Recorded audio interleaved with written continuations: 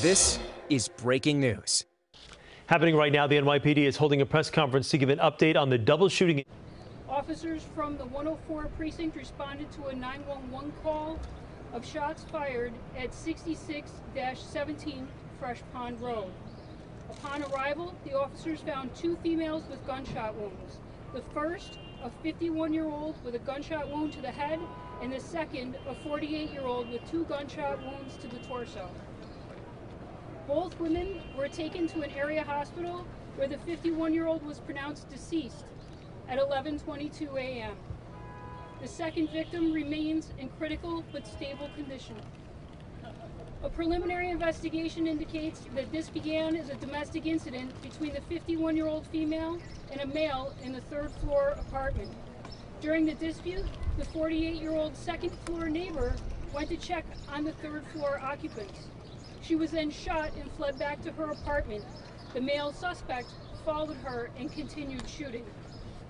The suspect is described as a 55-year-old male who fled the scene. There has been no arrest made as of yet, but NYPD detectives are currently seeking the suspect. The deceased victim was a civilian member of the NYPD with 11 years of service to the city of New York. The police commissioner and the first deputy commissioner have both responded to the hospital and met with the family along with Chief Ryerson. The family is receiving support from the NYPD Employee Assistance Unit and we are doing everything we can to comfort them in this difficult time. We'd ask that you please respect their privacy and give us a little patience as we continue with this investigation. We can now take some questions. Nicole? Can you talk a little bit about the how the second victim was shot? You say she was going back to her apartment. Was she shot uh, behind a door? Was there a door involved here? There is a door with damage to it at the scene. We do not have exact information of how this played out, but there are shell casings throughout the hallway and the stairwell. Hazy? Can you please describe the relationship between the shooter and the um, victim who died? As I said, this appears to be a domestic violence incident between the male suspect and the female victim. Any other questions? Do you have a circumstances around it, motive, any idea why this occurred?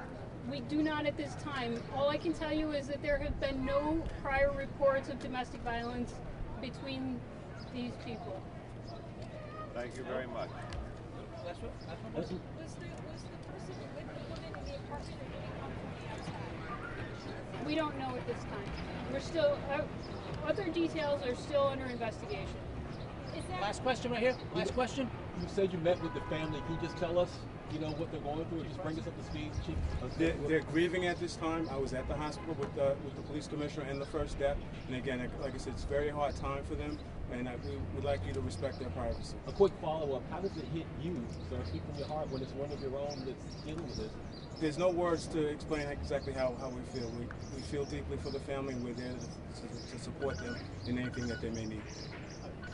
Nicole? Can you tell us what type of work she did for the NYPD? She worked for the Information Technology Bureau. Again, information technology out of one PP. All right, everyone. Thank you so much.